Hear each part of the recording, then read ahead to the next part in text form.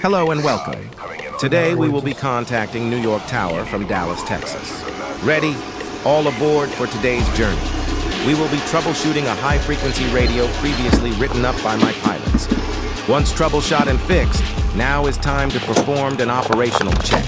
Enjoy the rest of the video because the video speaks for itself. Please don't forget to like, share, and subscribe. Can't clip it anywhere, this is